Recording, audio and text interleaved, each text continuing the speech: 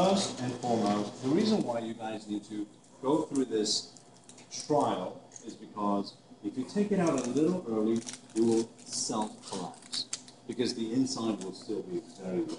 Does that make sense? Yes. So when you pick it up, it should feel absolutely light. So nothing about it should feel doughy, right? But then you just you tap the bottom, and it should feel hollow. Okay, guys? So that's what you guys are looking for. So like somebody asked me, how long should I have? Uh-uh. Uh, uh, uh. You have to go through this test. You take it out because Chef John said 18 minutes and out, and then it's soggy. That's my bad name. Okay, guys? This is what you guys need to do. So when you pick it up, it always feels really light. Something that is done right with a choux, it always feels right. Oh, yeah. It feels very light. Right, guys? So, you know, that's what we're going for. But at the same time, you guys can tell the texture-wise, Whoa. it's very crispy. Smells really Right, guys? So that's what we want, guys. Yes? Yes. Let's put it back. So,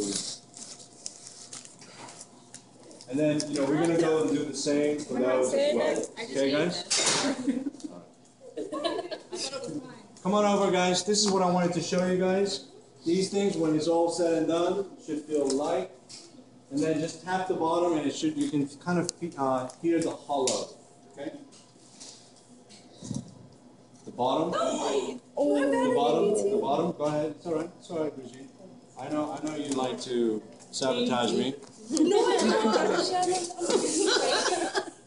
You just did. Crying. So everybody got it. Everybody got what I'm looking for. So you guys know, like these things right here that we've got going, they're gonna go through the same process. Okay, guys?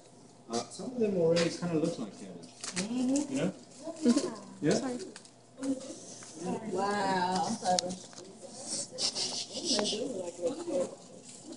So uh, we're gonna finish off with uh, gougères.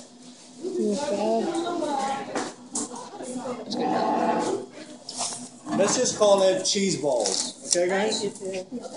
We'll call it cheese balls. Cheese balls. Le vol de fromage. Wow.